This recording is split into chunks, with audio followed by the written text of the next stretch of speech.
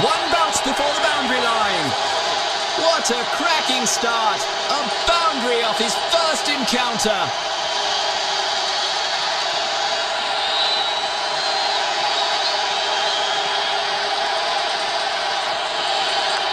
Gets to the pitch of the ball and slugs it down the onside. Will he make it three boundaries in a row here?